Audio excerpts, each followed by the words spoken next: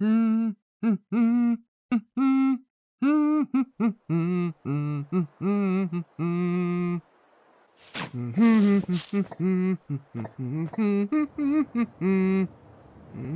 you summon me? Oh, yes. Miss Dark Samus, ma'am. It has been a week now, and I've yet to acquire your rent pay. Did you seriously call me up here just for that? You've already pestered me about it the last six days. I just felt I'd do you a favor if I made sure it hasn't slipped your mind. Believe me, it happens. Well, I still don't have your damn right. Consider yourself lucky that he here is the best in all of Chiaroscuro, or else I wouldn't even be here. I appreciate the compliment, thank you. I'm terribly sorry, however, I can't accept that. Excuse me? I've given you enough chances, and now I must demand that you pay your rent right this second.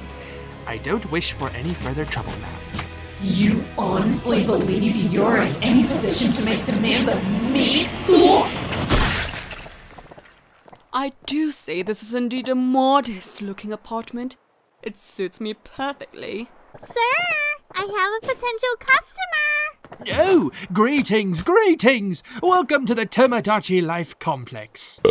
Hey now, don't be rude in front of our guest. Perish the thought. It's your pet's way to letting you know they're satisfied. Speaking from experience, I take it? You could say I've had years of research. so, would there be any rooms available? I traveled all this way to reside here for a while. Your little helper here has let me sample your trademark tea, and it turned out more exquisite than I had anticipated. Why, yes. A few rooms have opened up a week ago. Plus one more today, actually. Come, allow me to give you a brief tour to see which one you'd like. Marvelous.